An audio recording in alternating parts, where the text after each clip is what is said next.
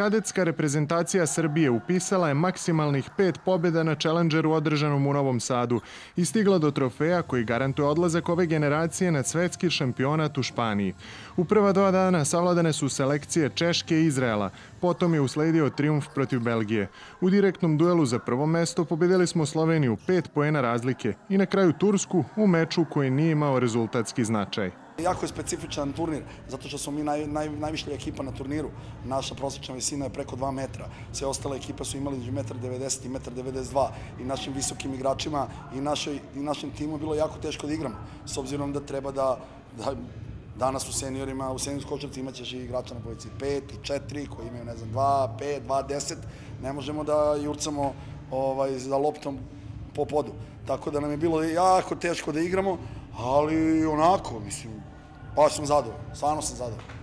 Ovim je nastavljen niz uspešnih rezultata u mlađim kategorijama, od kog možda još više raduje napredak nekoliko igrača čije bi imena trebalo upamtiti u godinama koje slede. Nikola Topić, kapiten ove generacije, playmaker Crvene zvezde, izraženih liderskih sposobnosti i odlične kontrole lopte, koji je izvrstan na obe strane terena. Lazar Gačić, 215 cm visoko krilo, odlične pokretljivosti i meke ruke, za čije se kvalitete već godinama interesuje Barcelona.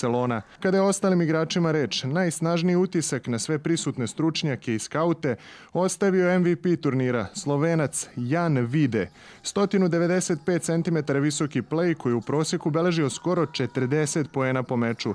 Trenutno igrač madridskog Reala, baš kao što je bio i Luka Dončić, sa kojim ga gotovo svi upoređuju.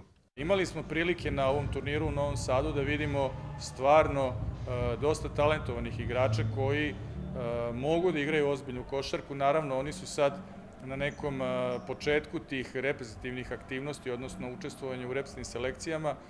Mnogo zavisi pre svega od njih samih, kako će se razvijati, od klubova u kojima rade. Osvojeni trofej potvrde je kvalitetnog rada sa mlađim kategorijama i nadamo se da će ovi momci jednog dana na postolju zapevati Bože pravde i u seniorskoj reprezentaciji.